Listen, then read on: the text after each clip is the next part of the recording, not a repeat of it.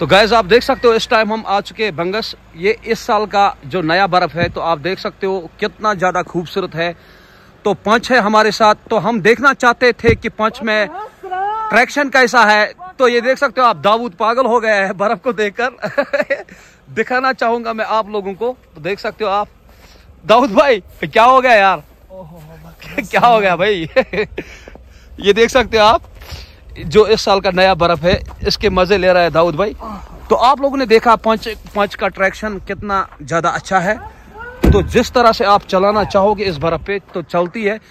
जैसे मेरे पास वेन्यू थी पहले तो मैं वेन्यू को मतलब बर्फ़ से पहले भी नहीं ला पाता था यहाँ, क्योंकि उसमें टर्बो चार्ज इंजन था। तो उसकी वजह से वेन्यू परफॉर्म नहीं कर पा रही थी। यहाँ पर तो आप लोगों ने देखा गाड़ी कितना ज़्यादा अच्छा परफॉर्म कर पा रही है। और वो देख सकते हो आप वो लोग, मैं जूम करके दिखाऊँगा आप लोगों को एक मिनट। तो ये देख सकते हो पागल लोग।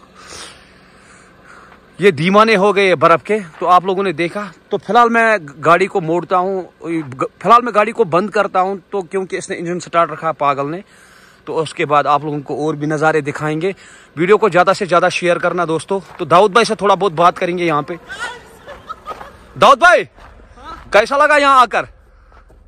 कैसा लगा यहाँ आकर? कैसा लगा यहाँ आकर? बहुत बढ़िया भाई। तो अभी आप यहाँ पे बर्फ़ के बर्फ़ के ऊपर लेट गए तो ये इसका रीजन मुझे बता सकते हो आप? हाँ? इसका रीजन आप मुझे बता सकते हो? क्या ही बताएँगे यार इसके लिए कोई मेरे पास कोई शब्द ही नहीं है।